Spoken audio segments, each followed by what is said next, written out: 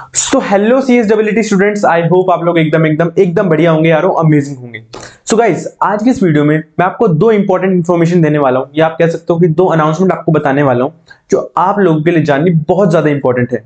Guys जैसा कि आप लोगों को पता है कि आपकी upcoming C S W exam सभी होने वाले हैं मे 2023 में। आई होप मोस्टली स्टूडेंट्स को पता हो, जिनको नहीं पता था, उनको अब पता लग गया है। आपके एग्ज़ाम होंगे, जो अपकमिंग एग्ज़ाम से सी एस डब्ल्यू टी के, वो होंगे मे 2023 में।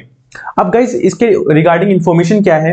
कि दोस्तों, अगर आपको मे 2023 का सी एस डब्ल्यू टी का एग्ज़ाम देना है तो आपके लिए रजिस्ट्रेशन चालू है। आपके रजिस्ट्रेशन अभी चल रहे हैं।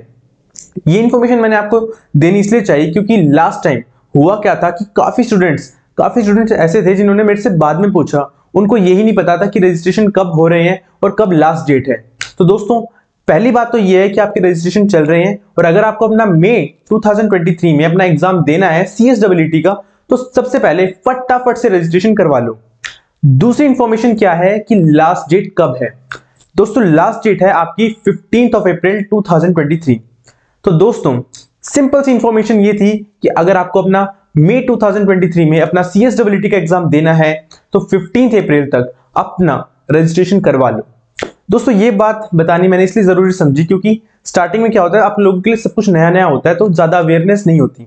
तो मैं सोचा आपको बता देता हूँ। बाकी हम मिलते हैं बहुत ही जल्दी, तब तक के लिए stay safe take care bye bye